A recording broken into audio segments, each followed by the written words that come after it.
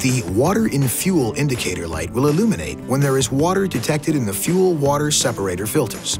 If this light remains on, do not start the vehicle before you drain the water from the fuel-water separator filters. If water is detected in the fuel-water separator filters while the engine is running or with the ignition in the on-run position, the water in fuel indicator light will illuminate and an audible chime will be heard five times.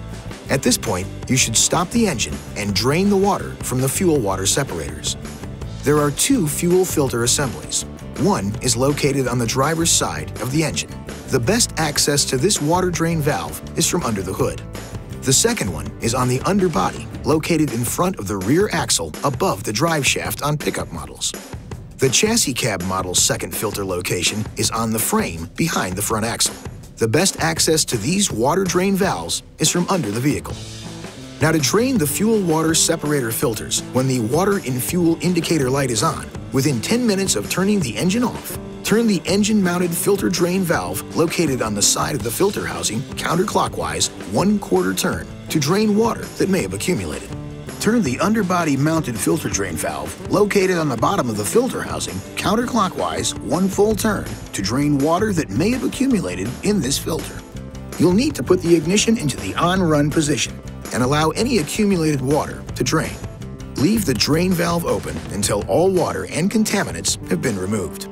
When clean fuel is visible, close the drain valve following these guidelines. 1. Rotate the drain clockwise until you feel resistance from the internal seal. 2.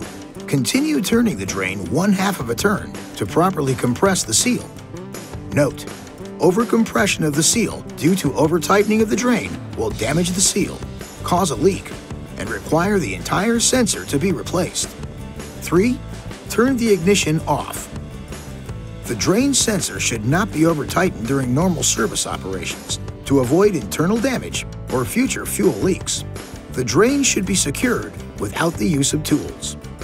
This video is not intended to take the place of your owner's manual. For complete details and other important safety information, please see your owner's information diesel supplement.